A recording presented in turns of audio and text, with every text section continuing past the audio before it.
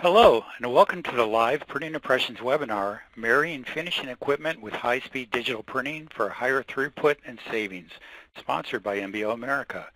I'm Mark Michelson, Editor-in-Chief of Printing Impressions and the host of today's event. Before we get started, let me take a second to point out the Tips for Attendees widget on your console. It's the blue one with a wrench on it. You can always click this widget for more information. All right, so let's move on to today's topic. What happens when a printing company invests in a high-speed inkjet web press but doesn't have the finishing capabilities to match? One answer is to install a compatible web-fed finishing line that can keep up with rated press speeds. Direct mail printer design distributors based in Deer Park, New York did just that after investing in an HP T240 HD page-wide web press. It acquired a high-speed web-fed finishing line capable of running single or multiple up products. The new MBO finishing line eliminated the need for three older finishing lines, reduced operator headcount requirements, boosted binding throughput by 50%, and increased format flexibility compared to Design Distributor's older shell production model. Our speakers today include Adam Avrick, President of Design Distributors, and Lance Martin, VP of National Accounts at MBO America. As part of their presentations, we'll address the benefits of transforming to a white paper in digital printing workflow that eliminates the need for pre-printed shells, how customer demands for shorter runs, personalization, and quicker turnarounds are driving the offset to digital printing migration, and productivity gains that can be achieved using web widths of 22 and a half inches and inline buckle folding. We'll also have time for a Q&A session at the end of the formal presentation, so please be sure to submit any questions you may have during the course of today's webinar. First off, though, I'd like to briefly highlight a few key findings of a recent NAPCO Media research study on production inkjet printing adoption, which was sponsored by SGIA. You can download the complete study at piworld.com and then by clicking on the Resources tab. One of the survey questions asked what technology changes, if any, survey respondents made the first time they took delivery of a production inkjet press. And as you can see in the diagram, Direct mail printers indicated that finishing by far resulted in the most workflow changes. Only publication printers of magazines, books, and catalogs came in second in terms of how their first inkjet press installation required new finishing technology and workflow changes. And here's a diagram that averages out the respondents by all print market segments. You can see that finishing led the list in comparison to other parts of printers' businesses. So today's webinar topic on finishing in a high-speed inkjet printing environment is quite timely. Okay, Lance, I'll turn the program over to you. Great. Thanks, Mark. Uh, welcome, everybody. Thank you for, for joining us. Um, I'll give you just a little brief intro on MBO and then uh, turn it over to Adam to talk about uh, design distributors. Uh, MBO had the pleasure to start quite some time ago speaking with design distributors about the finishing side of their business. And um, uh, we had a chance to analyze a more of a shell type working environment where we're using a lot of offset, uh, going to digital, and uh, how do we finish that uh, better with less people and, and, such in, in today's market. Um, before I get too deep into things, I'd like to just take a moment to talk a little bit about the MBO group because I find in most of these opportunities people don't know exactly that MBO is a web uh, finishing producer uh, along with our core business of sheet folding. So I'll take a minute here just to review the company just a little bit before I turn it over to Adam. Uh, the MBO group is a $50 million company and we're held um, privately still. And one of the biggest sections of the business, uh, up almost 50% of the business is MBO America. Uh, and our primary uh, market right now is the direct mail business and the offset business and then uh, die cutting and pharmaceutical. And I'll show you that in just a moment, uh, how that splits up. Uh, the Herzog and Heymann product line is actually owned by MBO. So it is a, it's a brand ownership and it's part of our, our repertoire. And interestingly enough, uh, pharmaceutical folders and their products can also be set into a, uh, um, a web environment. Uh, MBO is main headquartered in Germany, and its main factory is in Portugal. Uh, we have about a quarter of a million square feet uh, full service of metal in and, and uh, machinery out in the Portugal uh, facility. Uh, and then one of our big pushes over the last few years has been to partner ourselves up with people that do very well into the digital and the uh, folding world, finishing world, because we've realized over time that we can't do every single operation internally, and it, it's a much better solution to partner with people that have uh, the ultimate expertise in their market. A couple of key points I'll go over real briefly. Uh, the one I'll just point out the most is in 2007 and 8 we made some major changes to the business. Uh, we went away, uh, not away, we added to uh, the business model uh, of folding, which you see we started back in the 60s and uh, continued on in America in the 80s. And we added web finishing in 08 and we added die cutting in 07, which is quite a departure from our traditional uh, core business of sheet folding. Uh, but uh, as you will see today, it, it does play out well where we are using our equipment on the MBO side and feeding it with a web. Uh, and you can see that the partnership started in 2016 and the new advances we'll be putting out last year and this year uh, will continue in that uh, finishing, the digital finishing side. Our motto is very much to be a modular company. Uh, we, we understand that uh, most of the projects that are very successful start thinking about what you have to finish uh, from the back end, and you, you usually work on these things from the back end forward. Uh, that way you, get a good look at what you have to do in the whole workflow process. Uh, it's, it's usually not a great uh, method to try and, and force the old method into a new system and just try to replicate exactly what you are doing. Uh, we find that that tends to be a very difficult solution. So uh, coming up with the, the new solution of going, trying to get where you're going first uh, seems to be a good method. Uh, we, we believe that the, the best how for that is to use modularity, uh, flexibility, durability, performance, and, and try to make good partnerships. And what that ends up being for us is you will see uh, is a company that produces a lot of modules uh, that do specific functions that all can be integrated together. And these markets that I mentioned earlier, what we see now, why uh, we believe we have been um, uh, uh, having a much greater impact on some of these markets than before, is that the quality of the digital uh, press, the printed page is that quality has come way up, and the commercial printers, uh, the direct marketers, the marketing companies themselves and such are uh, are using digital print more than they ever have. They're using the data more than they ever have, and these two markets are joining together a little bit. So we we see that our market, which we're very accustomed to having commercial printers uh, that are typically offset printers and high quality uh, sheet fed and web printers, migrating into the finish into digital print, uh, and they need finishing solutions that are more commercial in nature uh, for the general commercial printer. Uh, and it's not not necessarily just a transactional type of an environment uh, where a lot of the the older digital technology actually grew up. And last little bit of information about us is to kind of um, give you a better picture of what our market looks like. We see right at last year we had 40 46% of everything we did uh, was actually in the digital web business. It had something to do with uh, continuous web digital finishing. And uh, the commercial folding, which is what a lot of people know MBO for, was 27% of the business. Uh, that would mean things like B1 sheet size, B2 sheet size, uh, offset, um, and uh, general commercial print folding from a sheet-fed environment.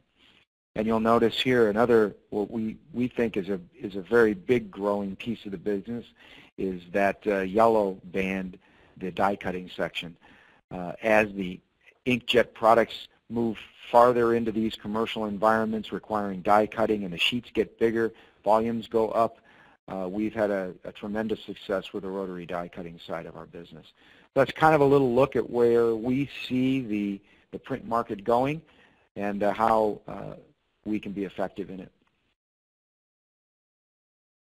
We had the opportunity to work with uh, Adam and design distributors over the last couple of years, uh, and we we believe this was a, a great case study showing uh, really the complete cycle of working with not only the press side of the business, but make sure that the finishing side of the business was was changed also to to match their their goals for the new business.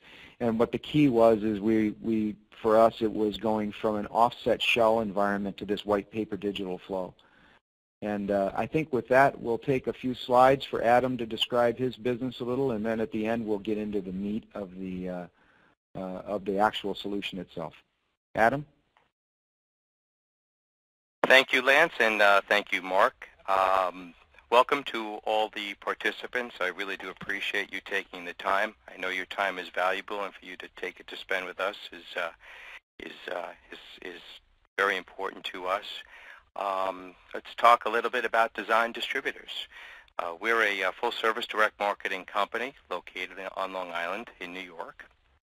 We're a direct marketing and uh, mailing company. We like to think of ourselves as having a state-of-the-art facility uh, and have achieved probably one of the most diverse printing and mailing operations in, in this area.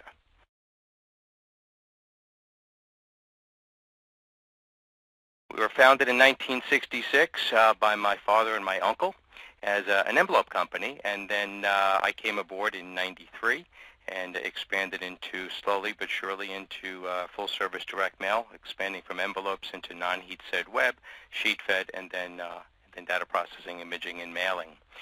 Uh, we specialize in, uh, in assisting our customers as they navigate and execute uh, each campaign.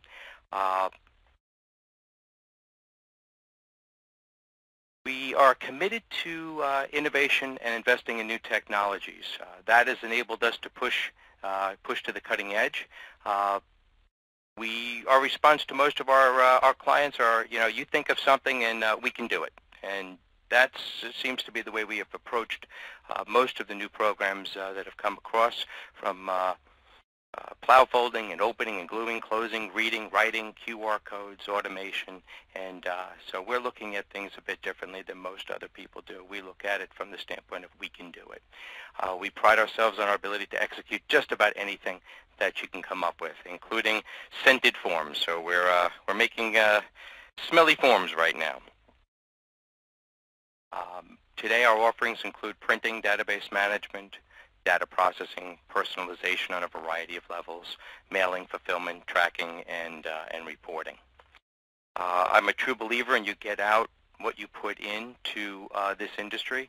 I've spent my life uh, in this business and uh, I spend a lot of time working with a variety of uh, industry organizations such as the PCC, uh, the APC, uh, and the Printing Industries itself, PIA, and that's Printing Industries Alliance, and the Printing Industries of America. Um,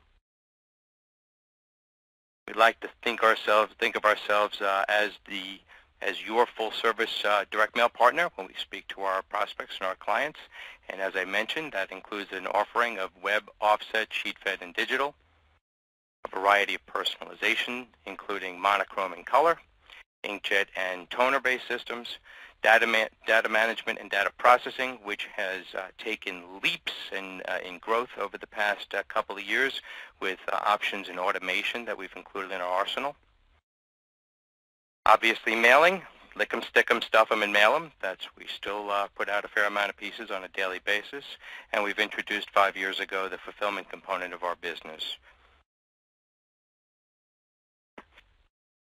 Most of our clients uh, that are producing mailings used to ask us to manage their programs to a mail date, and now we have changed that uh, paradigm to include mailing to an uh, mailing to and managing a program to an in-home date. So with a logistics arm that we've uh, that we put together, we can now uh, effectively manage the piece from not only from inception into mail, but into the into the home of the recipient as well. A lot of you have uh, a lot of you who are experiencing the wonderful world of, uh, of compliance issues. Uh, the company uh, Design Distributors, uh, we are SOC 2 Type 2 compliant with a HITRUST mapping component for HIPAA compliance, and we're FSC certified. So why the shift to digital? Uh, direct mail is still thriving. Uh, it's still a strong performer when compared to other marketing channels. We've seen a couple of slides indicating that, and I've got a little further information to show you as well. That uh, response by selected media, when one looks at the basic channels that, uh, you know, the larger channel, direct mail, email, paid, uh, paid search, online and social, our response rates continue to be higher. Our ability to uh, select the ideal recipient remains strong compared to other uh, other other media. Um, we know that when we combine direct mail and digital, offering an omni-channel solution, we can increase the ROI, return on investment, significantly. One takes a peek at direct mail, there's more attention, more spending, and higher conversions.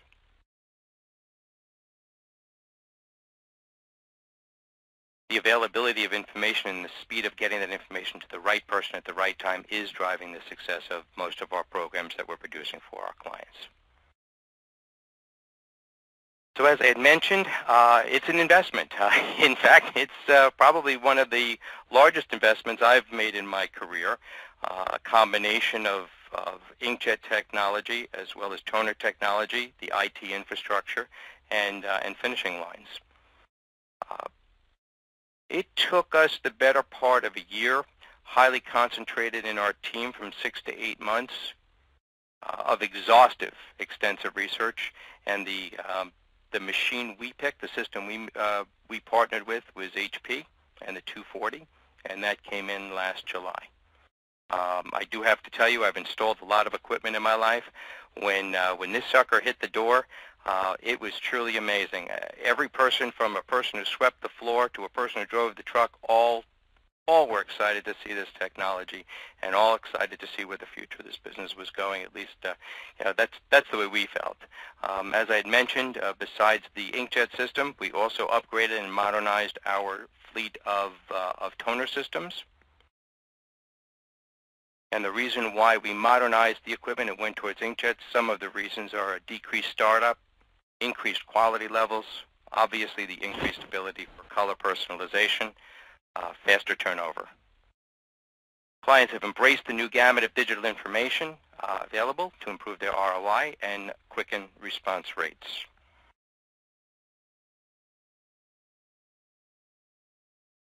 And obviously, as part of Mark's, uh, Mark's introduction, uh, now I'm producing a lot more material uh, off of the imaging systems. I have to cut and fold it, um, add a variety of attachments to that equipment to finish the work before I can get it inside an envelope. And if it's a self-mailer, score, fold, and glue it. Uh, and after another extensive amount of, uh, of searching, we went with MBO. And uh, primarily, well, there's a whole variety of reasons. Uh, the speed, the system that we went with, uh, the uh, is a 500 foot, 500 feet per uh, 500 foot system. Uh, we're on a daily basis, basis running between, and since we put it on the floor, have been running between four and 500 feet. Uh, I'm running that equipment from a roll to a finished product with a single person with a matter of automation at the end of it. Uh, compared to a buckle folder having a person feed it and have one to two people picking up. Obviously, one of the major issues before all of us who are in business today is our increased labor cost. And by being more efficient, we're taking labor out of a product and uh, being able to produce more product, uh, more product on, on, an hourly basis. There's less time, less downtime on this new equipment. Uh, it is incredibly efficient. Uh, when we put that machine on the floor, MBA's, MBO has a program of uh, come, install, train. then they leave, and then they come back a period later. So they give you a time, a period of time for you to to work with the system. Then they come back and enhance and tweak what you've been doing, um, straighten out any issues with uh, maintenance and how things are set up on the equipment. One of the other things about MBO is that their geographic location. They're located in the New Jersey area on the East Coast. They have a plethora of, of parts for us, uh, easy access to availability. We're located in New York. As I had mentioned, space is a premium. Uh, my facility, when I moved in here in 1993, I thought I was going to be having to sublet space out. And at this point, if we plug a toaster oven, oven we're going to blow a, a, a fuse somewhere. Uh, we are very limited on space. Uh, and the space requirement of the new system is a uh, is a much smaller footprint than we, our traditional equipment. We're easily uh, it was easily hooked up utilizing existing power and HVAC. And we were, uh, we were actually running the equipment uh, before we were completely trained. We were li had live jobs running on it. We have an increased uh, flexibility with this system. Our old, uh, our old Speedos and our Bowe cutters were 18-inch wide machines. We opted for a 30-inch wide system. That gives us room to grow. The HP system is a 22-inch wide uh, max roll width. So that allows us to uh, handle up to, if we're using 8.5 11s, for example, uh, we could run uh, we could run it on a generic piece, three across as opposed to two across. That's a 50% increase in, in throughput. Uh, currently, if we run narrower programs, right now we're running monarch size uh, letters, 7 by 10s. We're going three across, and we can only go two across prior. Take a look at the old equipment versus the new equipment, going from 100 feet per minute up to 4 to 500 is obviously a significant increase.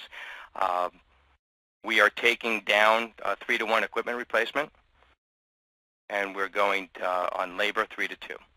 So there's a significant reduction in labor, uh, a, a significant reduction in equipment, and a 50% increase in throughput.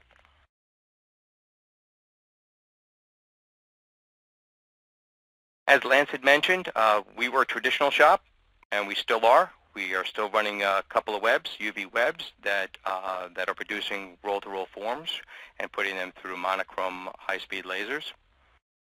But as we move forward with technology, we will find that there is a variety of things that, uh, that do occur when you start to bring inkjet digital into your, into your facility. Uh, one of the things that, uh, that we can do is uh, still print shells and inkjet monochrome. So we get the throughput of the inkjet system at a monochrome price, which is a lot less money uh, than con on consumables and a lot faster than going with our, our traditional continuous equipment. So our original workflow, um, very simple. We used to print a form, then we'd image it, and then put it on a bindery system.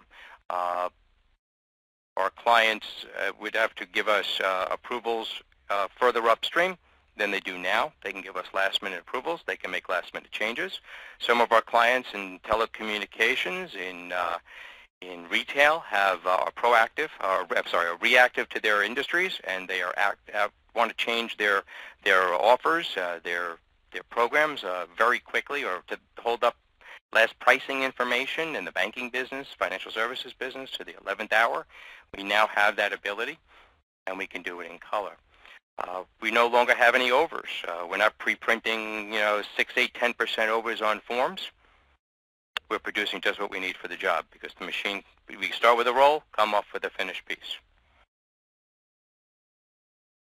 Also, there's a limit on the traditional, on the traditional, um, sorry about that. There we go. Uh, there is a limit on the traditional equipment where you have a fixed cutoff. For example, uh, we have a 22-inch cutoff. If you would like to bleed off of 11 inches, if you don't have gap, uh, we have to downsize your forms. So we have to go down to 10 and 5 eighths, 10 and 3 quarters, depending upon what it is. Same thing with 14s and same thing with 17s. Now, if you want a full bleed 11 inch, it's not a problem.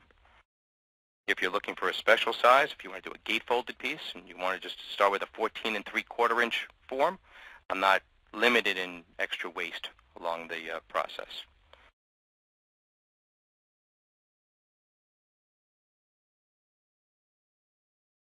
So that's uh, a little bit about design distributors, what we did in our process. Lance? Yeah, thanks. That's great. Great. Thank you, Adam. Um, I think I'll uh, jump right in uh, to a little bit about the specific solution that we analyzed uh, I hope the audience finds uh, the numbers interesting. Uh, to do that, I will describe a little bit more in detail uh, the shell process just to make sure everybody picks up on what was going on. So I'm going to back up once to this slide here. Um, you will notice in the top picture it was a roll-to-roll -roll, pr process for printing shells on an offset in an offset environment. Um, and that now that was a that was a fairly fast process, but you'll find out later that there were make-ready times uh, and spoilage that came into play here uh, that had a huge impact on the decision. Um, then in the lower picture, you will see some of the older equipment. Uh, I think Adam mentioned the names Bowe and Speedo in the past uh, in, in earlier slides, and they had quite a few of these systems. I don't know the exact count, but it was uh, it was quite a few. Um, and the way that this was normally done, these are fairly slow systems on the scale of things, especially compared to either the offset press or the new HP T240. Uh, these were basically 100, uh, maybe 120 foot per minute machines. And uh, the typical scenario is, is you print on the offset, you take them over and run them through some toner boxes to put on the variable data. And then you come back here and run them through the, uh, the finishing lines here uh, to get them folded. And typically now you're, you're going to have to make a game of, of how many lines of each one are you going to use to keep the, the deadlines moving in the right place. So we came up with a solution to do that based on their major products. The two biggest ones for them were very, very different animals. Uh, you're looking at a letterfold 2-up, and then they had also this brochure-style, uh, newsletter-style product that was used making with folders. So you had a, a couple of different major products, and then the, the, the additional items that they had laying on the table to look at were things that were kind of in between here. There lots of varying sizes, um, as Adam was saying, they, they wanted to be able to use the full sheet rather than be stuck to an exactly an 11-inch cutoff or an, a, a, a 17-inch, and, and you couldn't bleed anything anymore. You couldn't add a little, little tab or anything. So uh, if you circled the solution around the two major products, what we came up with was a rather modular approach to this where they could print nearly anything they could do in the past but we're just going to feed it with a web, and we're, we're going to increase the production significantly. So I'll go through a couple of the main layouts of what, and then uh, I might be able to still have time to show a quick video of, of one of the layouts running. And then we'll jump into the spreadsheet. So um, first line was a, in order to do the, le the letter folds, it's a very simple operation for us. Uh, it's an unwind, you sheet, you fold it in the letter. Uh, it's very similar to whatever uh, most of the commercial market is used to, and we put it into a stacker. And the stacker is a little bit different than normal. This was a stacker that would stand the product up and, and build up a very slow uh, type of a bundle or a log type of a bundle that the operator could handle easily. Uh, so that was configuration number one. And I'm going to show you this dotted line uh, in the right at the end of the sheeter and that line is really what we call the fixed and the movable side of, of the line. So everything on the right side tends to be more fixed. Uh, that's the unwinder and the sheeter. Uh, Adam will have the opportunity to advance to you know different modules if he wishes. We have plow stations and slitters and uh, angle bar decks and, and dynamic perforators and so on that can all be put in upline and they are fixed. And you can web through them or you could web around them depending upon the use of the day. Uh, what comes out on the left side of that dotted line is a sheet. Uh, and one of the biggest factors is the sheeter is infinitely variable from uh, all the way from 4 inches all the way up to 80 inches. So we really don't care what the product needs to be. We can cut it to the proper length and or take the chip out as needed. Uh, the, the downstream components then need to be able to handle those varying sheet sizes and whatever they are, so they chose to put in a six-plate folder, which is a common in the direct mail business, and this stacker. One of the other uh, big newsletter product of those is, uh, is a reconfiguration of the exact same line. You'll notice that the dotted line at the end of the sheeter is still uh, present. We did not move the unwinder or the sheeter in this, this case. All we did is we turned the folders sideways, and we reconfigured the stacker. And in that con condition, now he's able to produce an, an eight-page newsletter um, directly from the same web. Uh, this is uh, another variation on exactly that same bundle. You'll notice the unwinder and the sheeter again did not move. The two folders downstream were repositioned and now he could produce any amount of signatures he wishes for any little booklets or brochure work or, or things like that.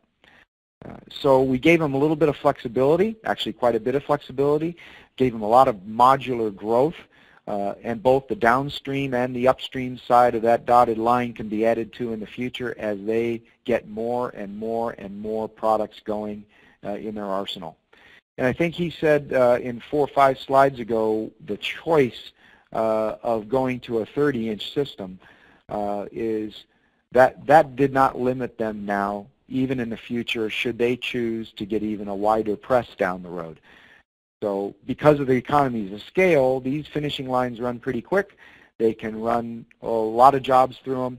So conceivably, you could have multiple presses feeding these lines, and a 30-inch line is certainly not out of the question from uh, the formats that design distributors run. So knowing that, I think I will quickly show a quick video of the line. Um, this is running just a shade under 500 foot a minute. Um, it's the uh, it's set up to be the newsletter style form. And you're going to see it's uh, kind of a, or I'm sorry, it's the letterfold form. So it's using the first configuration I showed you. I'll let that play a second. Uh, you can see the forms coming off. The stacker in the back is very comfortable for them to continue at this type of speed. Uh, probably could even bump it up as they wish to get up to the point where, the, where you'd be overrunning the operator. And, uh, and as you can see, they're modular. It's all reconfigurable. As it pans down here, you'll notice that the unwinder and you the folder so in the older version now, those Bowe Speedo lines would be running about a quarter of this speed.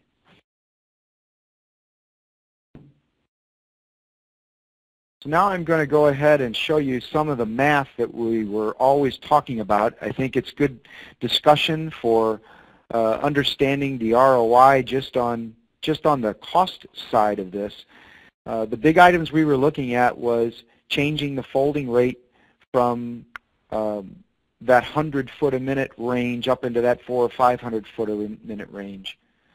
And you can see on the top level I had in the original process, uh, the roll to offset portion of that was actually a 500 foot a minute operation. It, it ran nice and quick.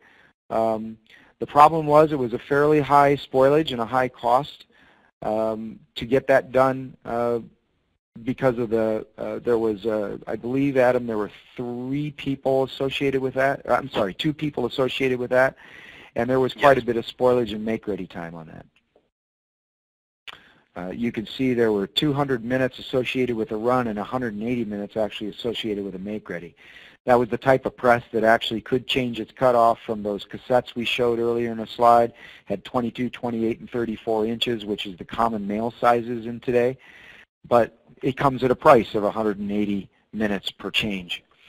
Um, the roll-to-roll print uh, for the toner boxes was the, the first uh, application of variable data. Now we had only one person on those, but you can see at 125 foot a minute, uh, it cost many minutes to get one box to produce the entire job.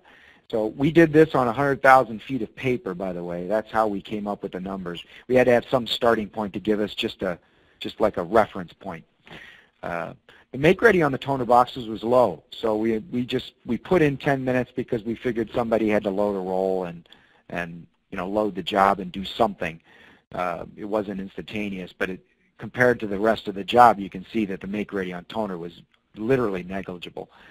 Um, in the roll to fold production, we had a very similar type of analysis to the toner boxes. And you can see that we had only one person per line, but we had a very lengthy time scale. Uh, we had uh, only going through at 140 foot a minute max, and the roll to fold make ready tended to be a little bit longer than what the toner boxes would have been. There was some time. So if you had to change the configuration and such, it you know it did take some time there. And we did not discount that time at all because the system we put in there was still going to use time in the new one to to change that make ready because we found that make ready was rather not so appreciable over the whole time scale of the job. Um, so what you can see, uh, we had 1,900 minutes basically associated with a labor count of four. Uh, and we had a 10% spoilage on the original paper source. So some fairly significant numbers to take a look at.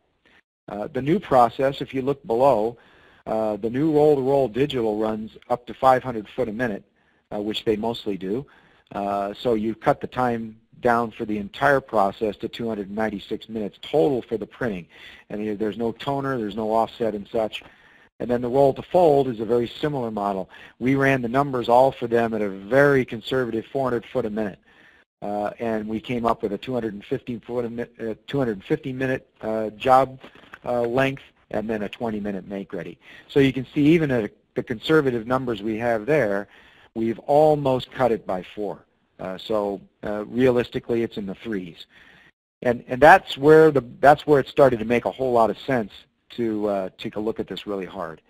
Um, when you look at what they were really doing, in many cases, you couldn't afford that time change. So we ran another slide, and what you can see is the uh, what the, what really happened to keep the toner production down is they used multiple lines, and that we I'm pretty sure that's why you see multiple toner lines in most of these facilities is because that part of the process is so much slower than the offset side you have to run multiple boxes to keep up with the production or you fall drastically behind. So in reality, you actually had three people running those lines or, or maybe it was two and a half or two and two helpers or something of that nature, but you had more people in that, in that resource. Uh, then on the roll to fold side, you had exactly the same situation. You know, there's no way you could just accept the fact that it's going to run along at 100 foot a minute. You had to get the job out the door the way to do that is to run multiple lines. So that's why we saw, I believe, Adam, I'm not sure the count, uh, if you remember it. I think it was close to 10, 11, 12 of the uh, of those Bowe Speedo lines you have in there. Yes, Bowe Speedy, Spe yeah. Bowe and Speedos, yeah. Yeah, yeah, and and then now we um, we would, since we bump the lines up, we get a little bit make ready uh, in those. But then also, you're looking at uh, you now you're under a thousand minutes, and still comparing that to the line they have now, we're still nearly getting it out twice as fast. It's not quite, but it's getting close. And now you can really see the labor effect. If we can truly continue to possibly replace lines at 3 to 1 or, or hopefully 4 to 1, if we can get the speeds up you know, in some of the jobs we can cycle jobs at a much faster rate. I mean, letters can run six and seven hundred foot a minute if we can we can put the right equipment on and, and channel a line directly for letters. Maybe we can channel a line for the newsletters and segregate out the make readies, and we can really do some some really nice things in the future. Uh, same type of a idea you would have with presses. So uh, now you see the labor swing going from eight to three, and that's more where we're really seeing it. Uh, you know, your, your labor impact would be, would be huge. So those, Mark, uh, I think that's about the, all the data we have. Um, we will turn it back over to you to close, I guess, or maybe Great. a question yeah. and answer if we have enough time. Yeah, we, we definitely have some time for Q&A, and, and uh, you know, we encourage uh, all our viewers to, uh, you know, submit any questions you might have. But uh, we have received some. Um, so let me start out. Uh, this one's directed toward you, Adam. Uh, Nancy wanted to know, um, can you print on coated cover on your uh, HP inkjet web press, and what about other stocks? Is that an issue? Well, thank you, Nancy. Uh, that that that could be uh, the subject of an entire webinar. Uh, but the, the quick answer is yes, we can. The HP solution that we did uh, partner with works off of a pre-coater model, which means I can use conventional stocks. I am not limited to treated stocks, inkjet treated stocks. So right off of the bat, uh, there's about a, today, about a 50%, 30 to 50% uh, difference in the cost of stocks going with a treated inkjet treated pre-treated stock as opposed to what it costs me to treat it as I'm going into the system. Uh, the other uh, the other element of that I will have with pre-treating is it does allow me a wider diversity of stocks so that I can run up to nine point both gloss, matte, dull, any coated material, not cast coated material, not like a, an old chrome coat, you know, but any uh, run-of-the-mill uh, commodity grade coated uh, stock I can run through the system. Uh, this is another question that came in for, for you, Adam. Uh, do you shrink wrap any of the end products, and if so, what equipment do you use? Our shrink wrap equipment lines are Shanklin's. Uh, we have a variety of, uh, of flavors of ice cream of, of the Shanklin's, uh, simple hand uh, you know, hand application of a product on a conveyor. We also have an auto feed system, uh, which could, let's say, uh, you know, high-speed batch 20 pieces, drop it into a track, and then feed it into the system as well. Um, and then we have um, a lug-based system where I can put a couple of people at the front end putting a variety of different components in. So if I put four or five people, one person could be putting a pad, one person could be putting a brochure, a folder, and then it accumulates and pushes into the system. Uh, the the the uh, the systems are, are relatively simple to operate, um, and uh, no, we, we run it, like I said, we run a whole variety of them. Okay. Uh, Lance, uh, Randy wants to know is uh, if you can uh, make printed envelopes in line. Thanks, Randy.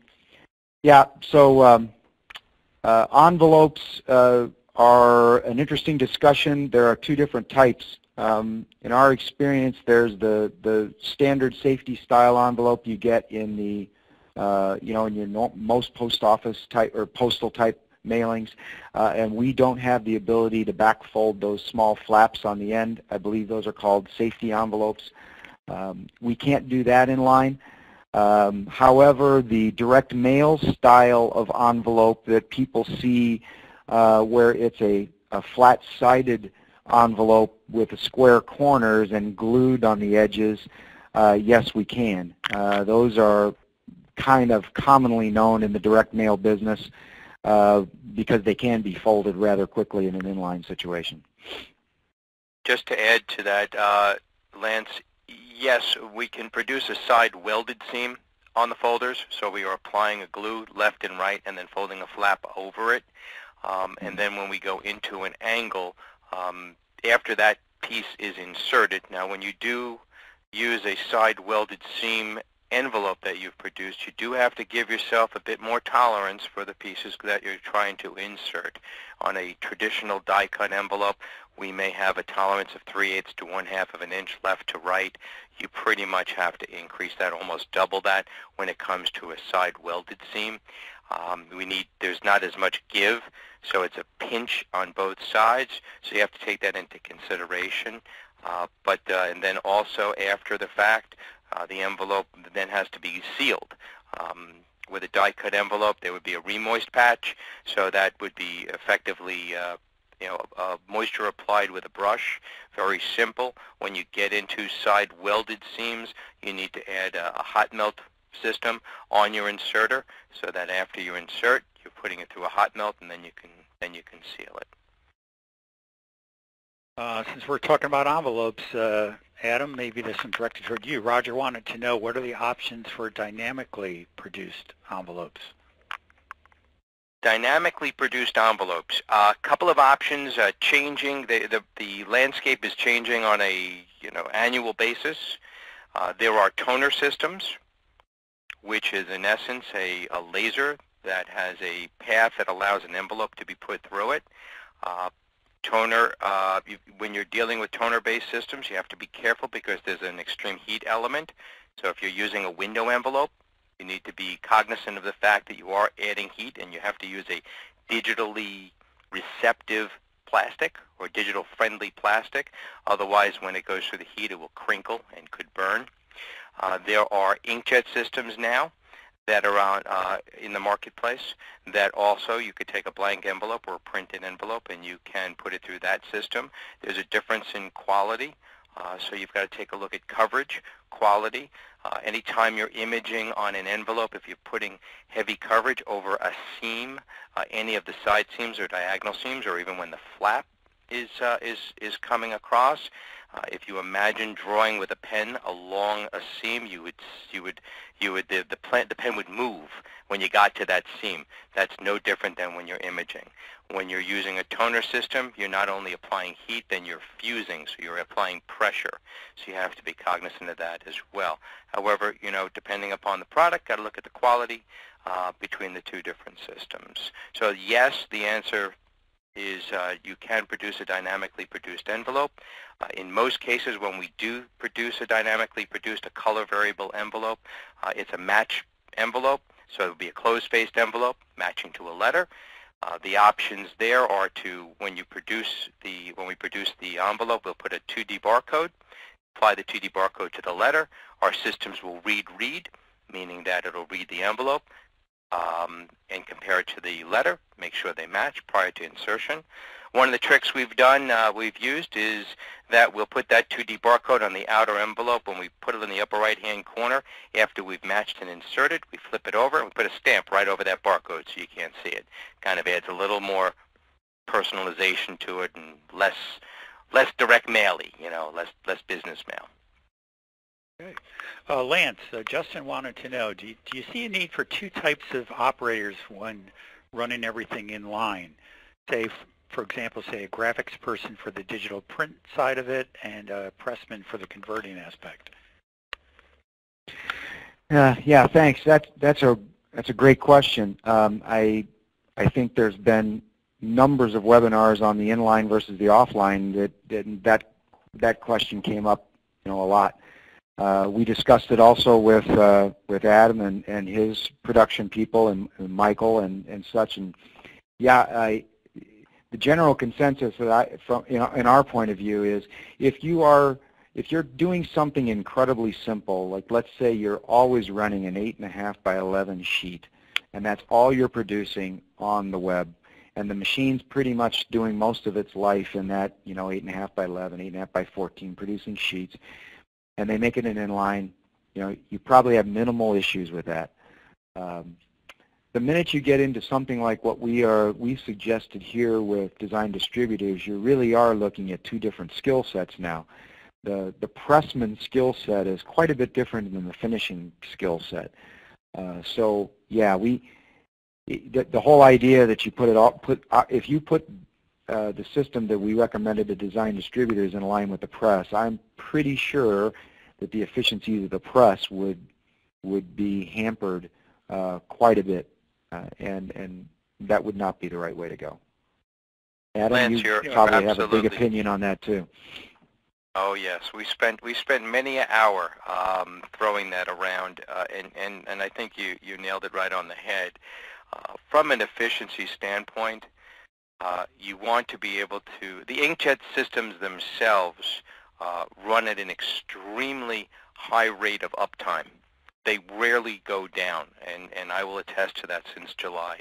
In fact, it, it's it's shocking compared to the other technologies that we run, the uptime on the inkjet systems.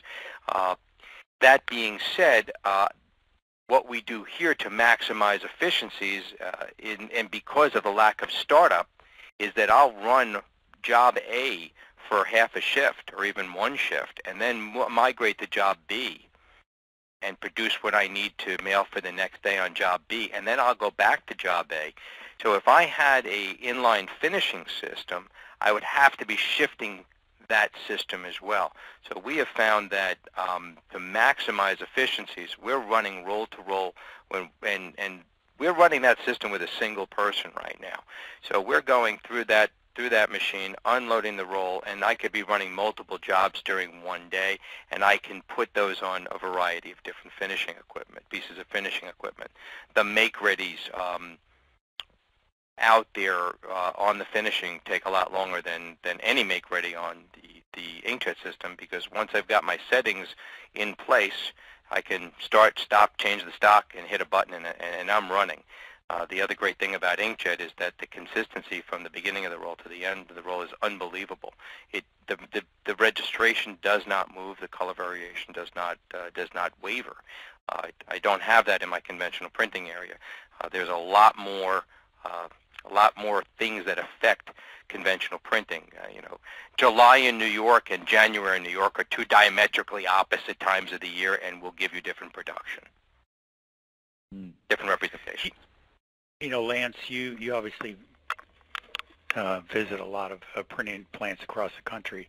You know, what kind of difference are you seeing between, say, the offset and the digital world in terms of how they view the cost reduction uh, of their labor labor pool in, in terms of their uh, capital equipment uh, decisions? Oh.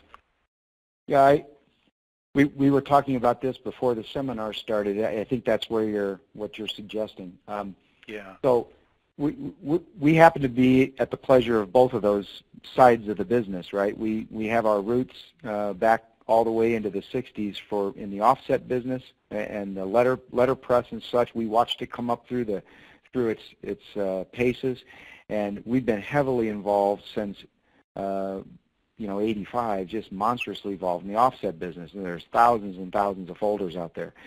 And now what we see on that side of the business uh, is it is a very much rooted in a cost reduction business. It's it, most of the time they are putting in you know one brand new offset press that takes the place of two or three older ones that don't have automation. Uh, we are doing exactly the same thing on the folder side. You know, the, someone will have seven folders, and we'll put in one automated machine that'll take the place of three older ones that you know ran half the speed and so on. Uh, and you know, you, you're, you're always looking at a way to get the job on and off the machine quicker and try to run it as fast as humanly possible. And that's, that's, that is a cost reduction model, and it's in a very interesting side of the budget. So when you're working with those people on that side of the budget, that's cost reduction business, or cost reduction side of the budget, which is budgeted with an asterisk on the side of it, right? And then on the other side of the equation are things like what we're talking about today, where this is, I mean, I think the the opportunities that Adam is creating for his company to have over the next, you know, foreseeable future are growth type things. That's doesn't have an asterisk on it when it goes into the budget. Those are really well looked at. Uh, that will sustain the business where uh, maybe that cost reduction side won't, and it, it might get put on the back burner. So we see a whole different look at way people are looking at these things, and that's why we see a very strong push right now into this digital side, and of course we're seeing it mostly in the web for our business as it moves into this commercial space. Uh, and that I think that also is signified by the pie chart we put up earlier that showed, you know, most of our business now is in that in that website. Uh, let's move back to the press side. Uh, Anthony, uh, Adam, this would be for you. Anthony wanted to know what's the selection of inks you use on the uh, on your HP Digital Inkjet web press. Most of the continuous inkjet systems work under CMYK, um, and the there are there is some equipment with a fifth unit or sixth unit. The HP has a fifth unit that they use for bonding agent that enables me to run untreated offset stocks uh, without having to coat it. Um, other people use a fifth unit for things like security uh, or MICR printing. I have almost seen, I've only seen one manufacturer out there that has even discussed uh, using a fifth unit uh, for PMS colors the cost in formulating this ink is, is, is almost prohibitive in order to go to the PMS, uh, PMS world.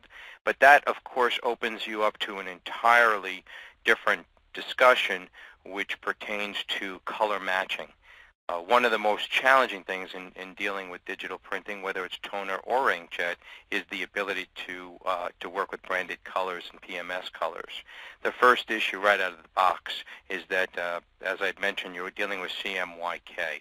So there's a different book that we're starting with. We're using a bridge book which formulates PMS colors in using the, uh, the four primary colors as opposed to a traditional PMS book which uses base colors to formulate an exact color. So if you looked at a PMS color of 485 out of a PMS book, and then you looked at a, a, PMS representation in the bridge book, just right out of the box you're looking at something different. Um, and that's, that is a significant challenge when working with process.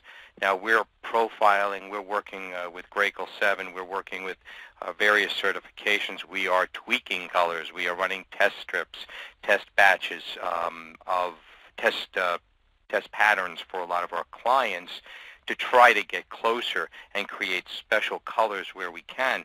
But the gamut is only so great when you're dealing with process, and then it gets reduced even more when you're dealing with inkjet. The color between reflectance and absorption is just different, and it is a challenge.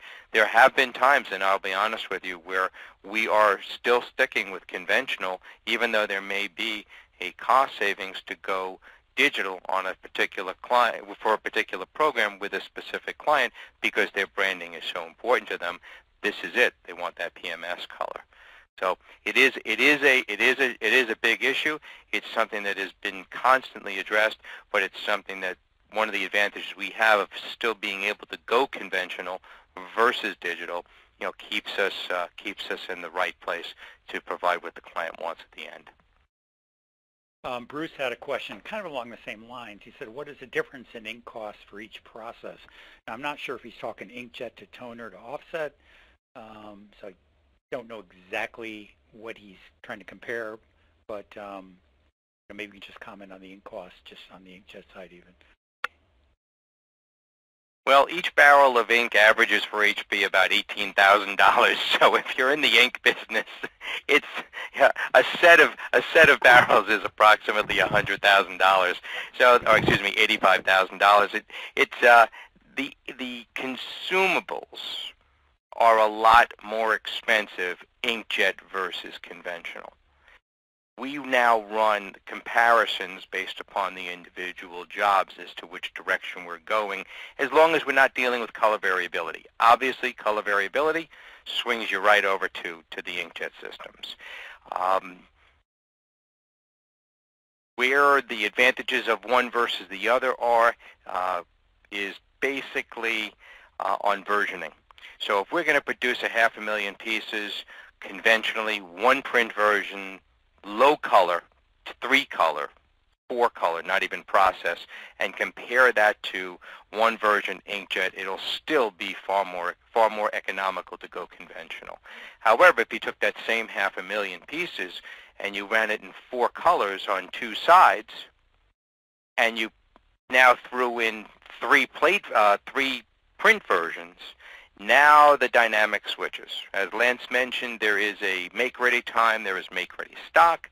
Uh, there is a significant savings uh, being able to migrate that towards digital when you start add, adding versioning. You get an even bigger bang for your buck on the digital side if you can run it together in one zip string. So all of the lots are in essence combined in one string, and the only way to do that, of course, is that the rest of your direct mail components are consistent, meaning that if you're using the same outer envelope and the same brochure for the job, but you're going to use a variety of different versioning on the letter, then you now have a postage savings because you're not chunking it up into multiple pre-sorts. It's now one string. You can now take maximization of, uh, of postal share uh, systems like optimization where we can do SCF or NDC deliveries. And that, you know, that's, that's a huge, huge plus on the digital side. Well, unfortunately, that's going to have to be the last question and answer for today because uh, we've uh, just about run out of time.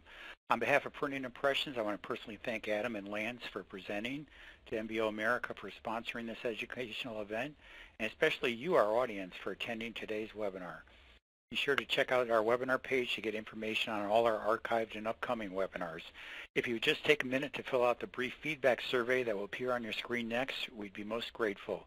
Your feedback will influence the webinars we bring you in the future. Hope to see you all at the next Printing Impressions webinar. Bye now.